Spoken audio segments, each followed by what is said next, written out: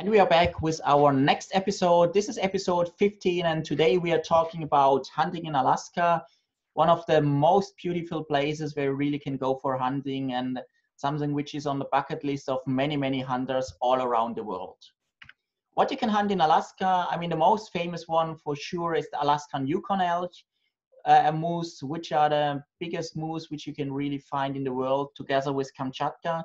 So it's a really good area to come back with a really, really moose uh, big moose trophy.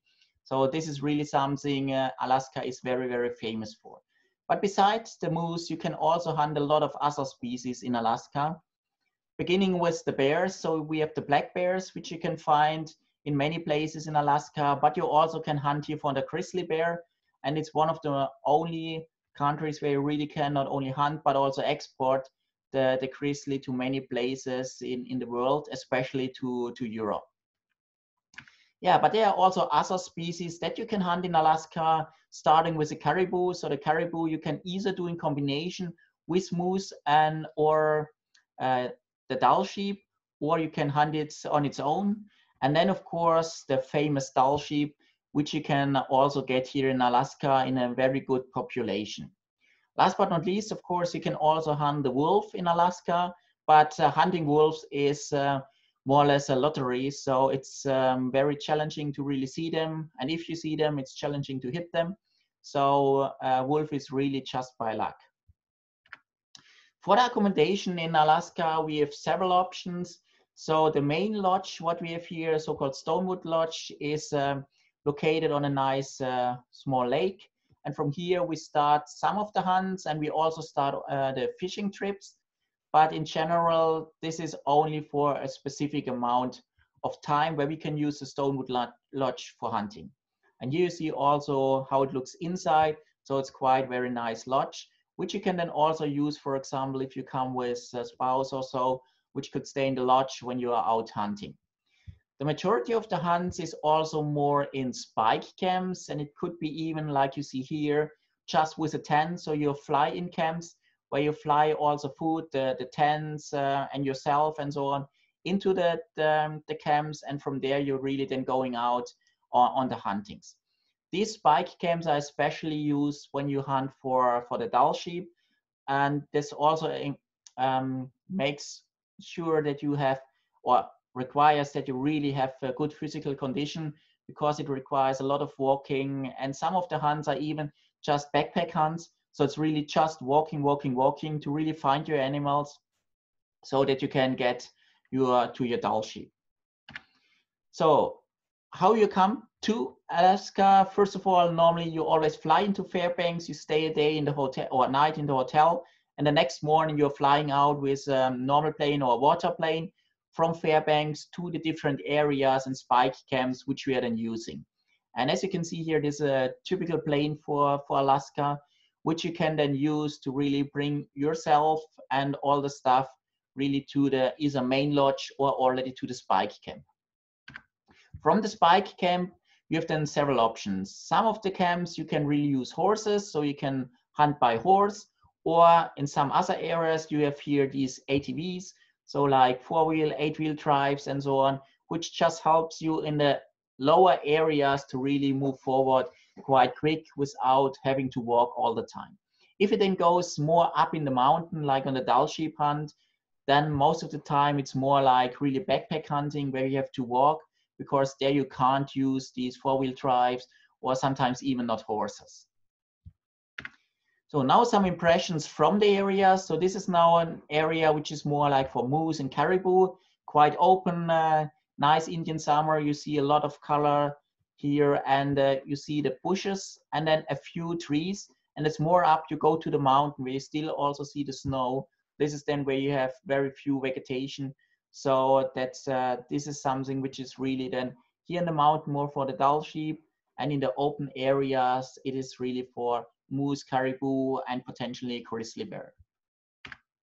Yeah, this is now an area where it's really more for the mountain, like for the uh, for the Dall sheeps.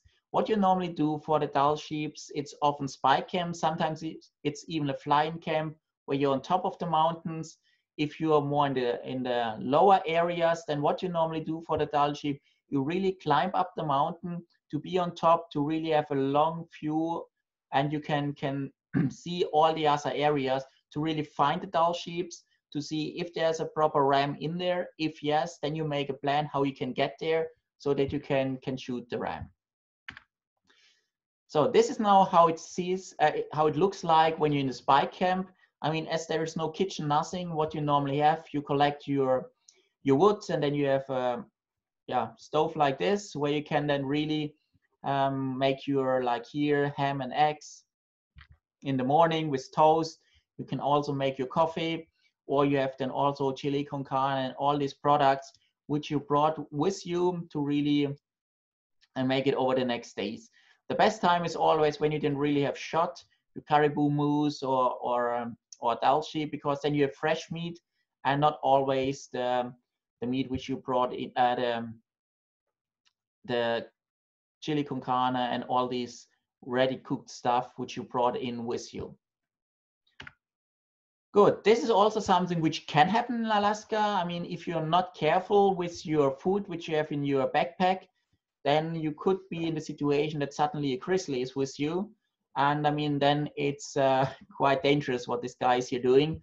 But normally what you do then is if you have a tag, I mean, then you might be able to shoot the, the grizzly. But if you have no tag, then it's just waiting for the grizzly to eat whatever food is in your backpack. Hope that he doesn't destroy him completely. Uh, and then when he's gone, then you can can grab your stuff. What we normally do is in the camps we have small uh, bells, which then uh, rings all the time that that the grizzlies are not really approaching us, and uh, that really some kind of protection against the, the grizzlies. So this is another um, impression from the area. And as you can see here, we've seen the high mountains where you have no vegetation. Then you have seen this uh, Indian summer area in the flats where you have some trees, but most of it is more like grass and, and uh, small bushes.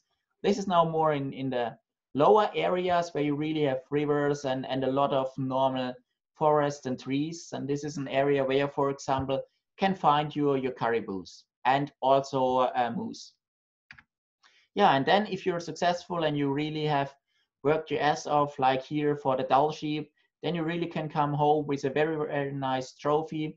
But as you can see in the background already, I mean, these hills are quite high and a lot of challenge to really climb them up and down. So that's why hunting for Dall sheep really requires that you're really uh, physically fit, that you really can can do it. On the other side, here you see uh, a moose from Alaska.